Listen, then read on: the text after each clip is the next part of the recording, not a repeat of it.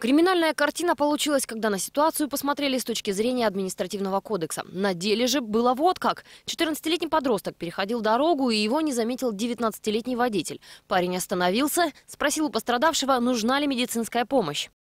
Мальчик отказался ехать в больницу, сказал, что он хочет домой. И я его отвез. Он на что, жаловался? Нет? Нет, он ни на что не жаловался, не плакал, ничего. Между тем, пострадавший подросток рассказал родителям о случившемся и пожаловался на боль в ноге. Родственники отвезли ребенка в травмпункт. Медики сообщили об аварии в ГИБДД.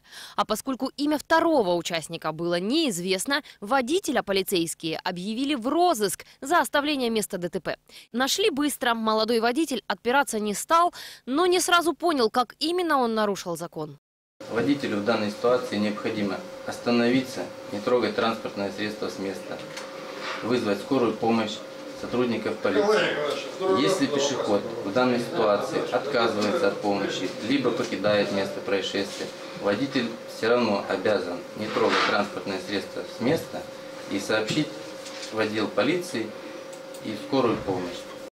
Иначе можно на полтора года лишиться прав или получить 15 суток административного ареста. Галина Юмашева, информационный канал «Город».